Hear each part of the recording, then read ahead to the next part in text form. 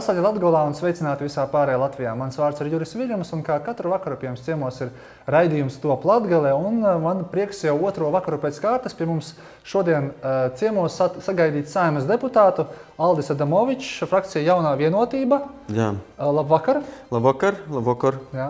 Mēs parunāsim, protams, par, par valsts budžetu nākamajam gadam, par aktualitātēm valsts pārvaldes un pašvaldības komisijā, kur viennozīmīgi ir gaidāmā reģionālā, jeb novadu reforma ir visaktuālākais temats, un par deputātu grupu ar Ukrainas parlamentu. Noteikti Latvijai ir šis virziens arī svarīgs. Bet par to visu pēc tam, kad būsim apskatījušies eh, aktualitātes un jaunumus Daugopils pusē, ko mums ir sagatavojis televīzijas kanāls LRT.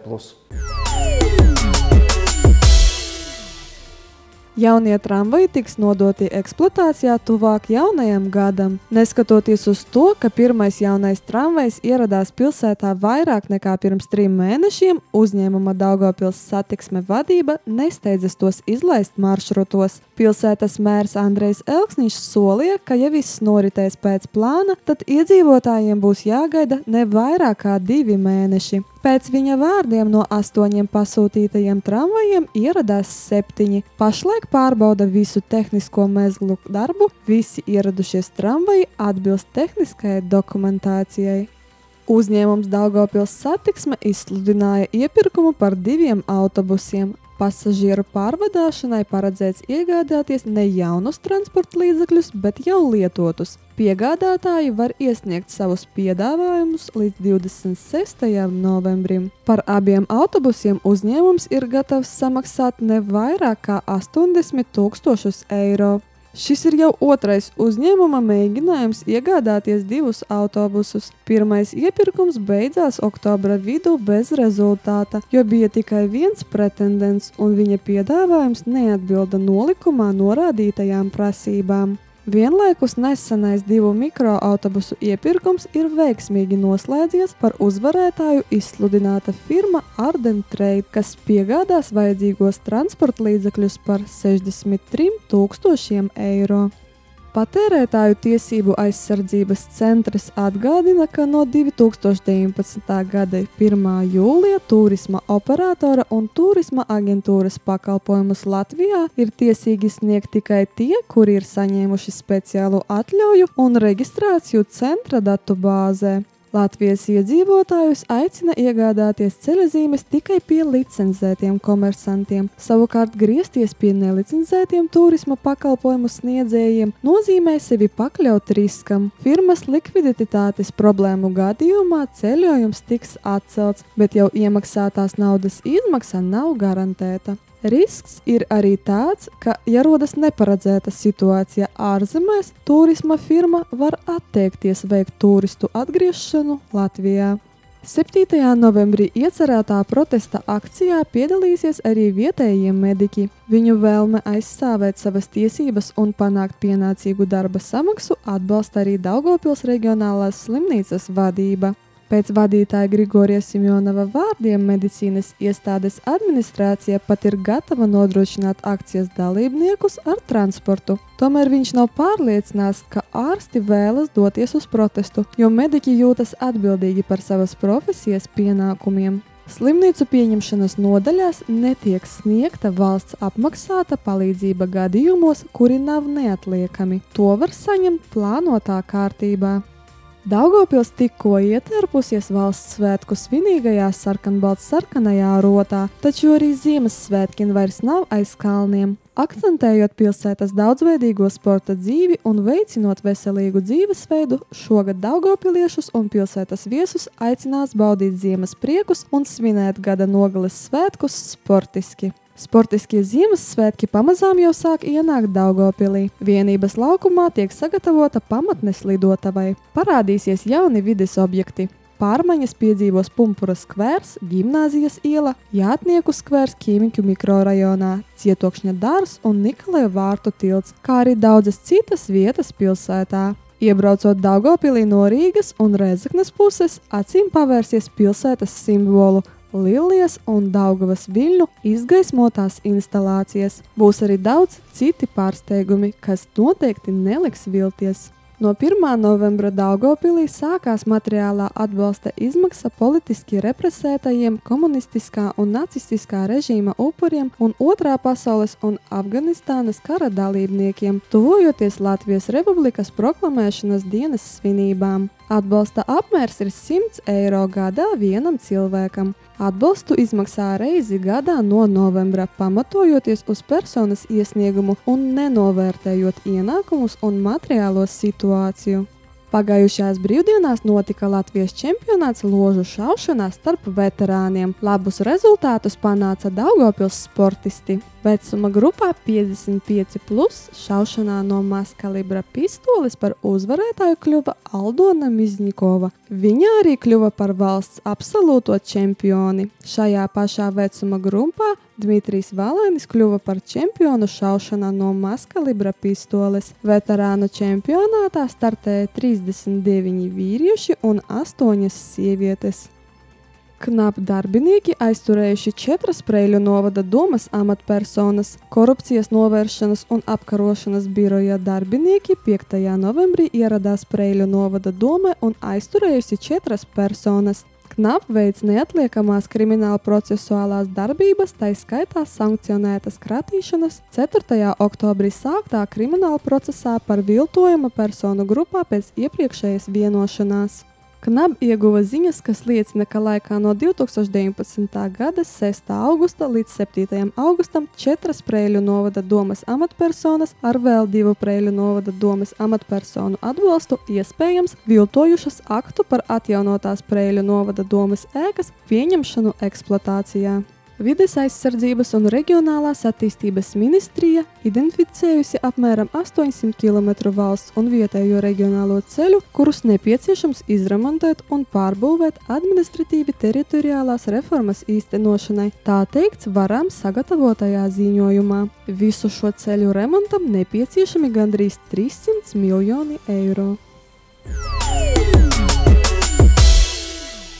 Atgriežamies studijā un atgādinu, ka pie mums šodien ciemos ir saimas 13. saimas deputāts Aldis Adamovičs. Vispirms gribējās aprunāties par valsts budžetu. Nu pat ir saimā pirmajā lasījumā apstiprināts, visi priekšlikumi otrajam lasījumam, droši vien, ka vairāki simti iesniegti. Aldi, kā tu skaties uz, uz šo sagatavoto nākamajam gadam paredzēto valsts budžetu? Jā, nu, droši vien mēs vienmēr gribam kaut ko labāk, kaut ko vairāk. Un, un, un es pilnīgi saprotu, ka katrs cilvēks grib dzīvot labāk un lai mūsu ģimenēm iet labi.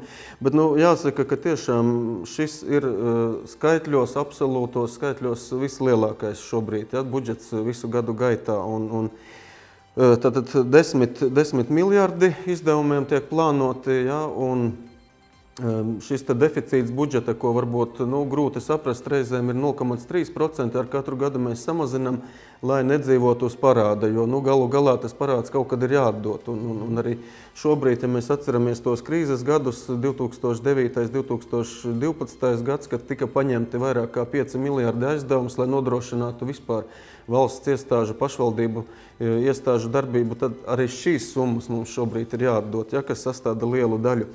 Bet eh, nu, no šiem desmit miljardiem jāsaka, ka uh, tas pieaugums nākamā gada uh, iekšzemes koprodukta procentuāli būs par procentu apmēram mazāks nekā šogad. Nu, tas jārēķinās, ka līdz ar to, ja mēs šogad varējām plānot 3,6%, ja, nu, procents iekšzemes koprodukta, tas sastāv apmēram 300 miljoni.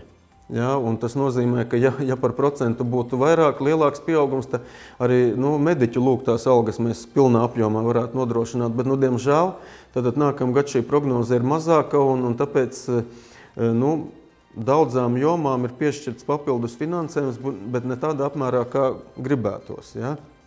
Un, uh, Nu, es gribu atzīmēt, galvenais laikam tas, ka kā bija solīts, tad arī nākamā gada nekādi nodokļi, kas attiecās uz iedzīvotājiem, uz darba spēku, ja, tad, tad netiek paaugstināti un, un, un varētu būt runa nākamā gada, ka izskatīt pa 21. gadu, ja, gan minimālās algas iespējams pieaugums, ar, ar, kas rāmī šai trīs gadu budžeta ir paredzēts no 2021. gada, ka 500 eiro varētu būt minimāla alga jā, pēc gada un, un arī neapliekamais minimums tad augtu. Ja?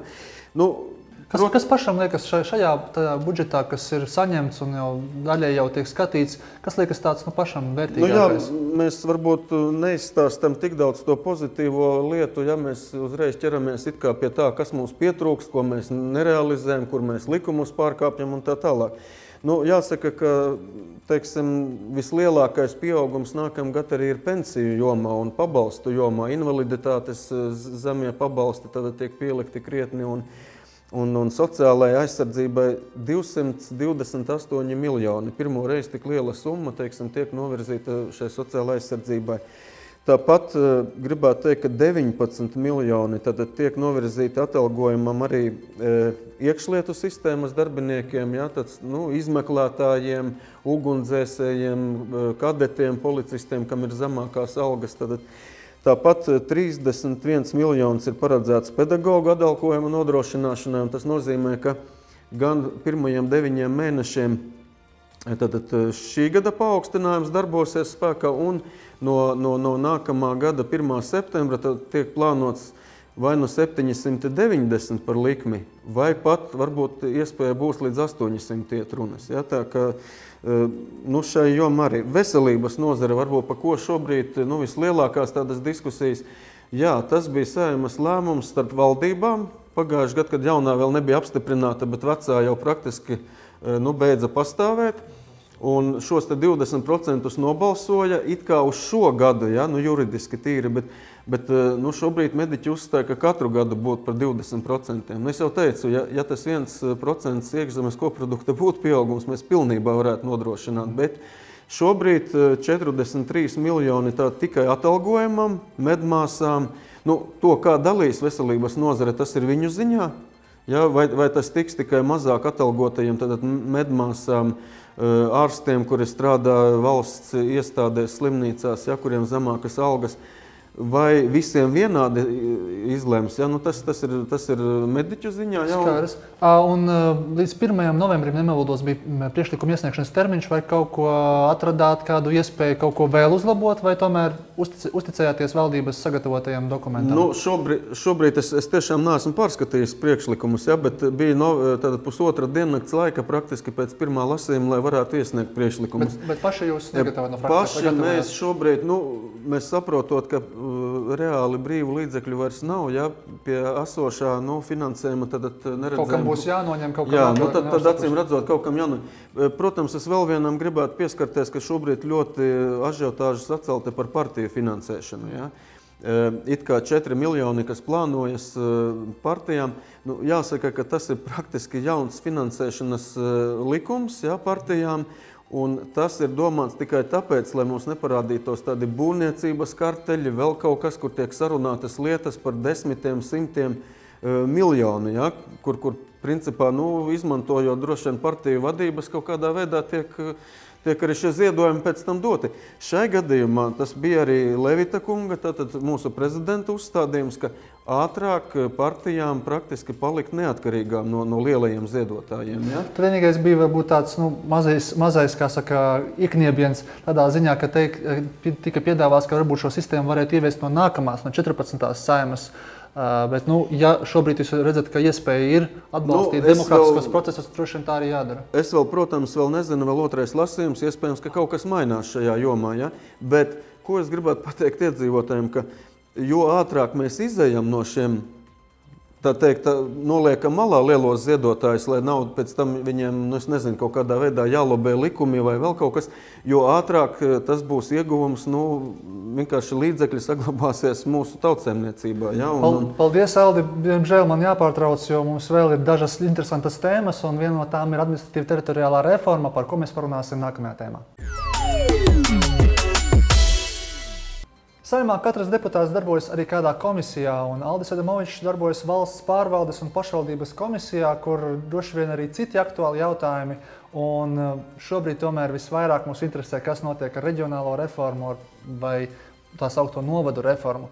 Aldi par pašvaldībām izstāsti mums, eh, mums un skatītājiem. Jā, nu, noslēdzot par budžetu un pārējot pie pašvaldībām, tad gribētu pateikt, ka mēs dzirdam brīžiem, ka pašvaldībām nākamgad samazinās. Arī pašvaldībām visām pilnībā absolūtos skaitļos nākamgad ir pieaugums. Sākot teiksim, no Zilupes, kur ir 33 tūkstoši pieaugums, un beidzot ar Rīgu, kur ir 23 miljoni. No Rīgai Daugo, ārāk, jā. teiksim, jā, nu, Daugopilī konkrēti pilsētā ir 3,1 miljonus pieaugums. Un, Par runā šīm te brīvpusdienām, ka puse uz pusi maksās tagad pašvaldību valsts. Nu, brīvpusdienas tur sastāv apmēram vienu desmito daļu no šīm summām, kas tiek papildus. Tā kā es gribu nomierināt pašvaldības, ka visām ir pieaugumi.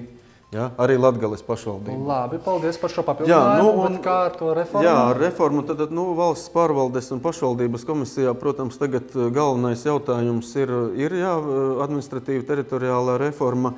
Eh, Mēs esam saņēmuši tādu no valdības šobrīd eh, pirmajām, un pirmajām lasījumām arī izskatījuši. Tad eh, s- parlaments šonedēļ balsos eh, par pirmo lasījumu. Nu jā, šobrīd tad, tad, no tā sākotnējā modeļa varbūt gribu pateikt, ka valdība ir piekritusi tam, ka eh, atsevišķi, tad, ja runājam par Latgali, atsevišķi tiek plānots arī Daugavpils pilsēta un Daugavpils novads. Un atsevišķi tiek plānota arī Rēzeknes pilsēta un Rēzeknes novads. Ja? Nu, pārējās, pārējās pašvaldības Latvijā pašlaik eh, tiek plānotas, nu, var teikt, bijušo rajonu robežās, ja? Tātad, nu, izņemot Prēļus, Līvānus, kas, ir, kas, kas plānojas atsevišķi divas, divas pašvaldības no ar tādām teiksim, līdzvērtīgām pilsētām centrā. Nu, Protams, ka tagad būs eh, nu, vismaz līdz jaunam gadam priekšlikumu termiņš, Ja, un tur varēs katrs deputāts vai frakcijas vai, vai, vai arī no ministrijām, tad, ministri iesniegt vēl kaut kādus grozījumus, labojumus. Tā ka nu, droši vien mēs sagaidām diezgan lielu skaitu jā, priekšlikumu, kas, kas, kas varētu būt. Reģionālā reforma, novada reforma daudz saka, ka nu, tā tomēr ir jādara, agrāk vai vēlāk tā ir jādara. Ā, Šobrīd tas lielāko novadu izveidošanas princips, vai viņš tiešām dos iegūmu, jo mēs jau tikai pieminēts, pieminēts Daugopils novads, kas jau ir liels, un Reizeknes novads, kas jau ir liels, bet vai Reizeknes un Daugopils novadā šobrīd, tā kā saka, ekonomiskā situācija ir labāka nekā tajos mazākajos, un tā arī Prēļu novadā. Un vai Prēļu novads, ja viņš būs lielāks, apvienojot vēl dažus, pievienot klāt dažus vēl mazos novadiņus, vai viņš tiešām būs kaut kādā veidā uzlabosies tā situācija?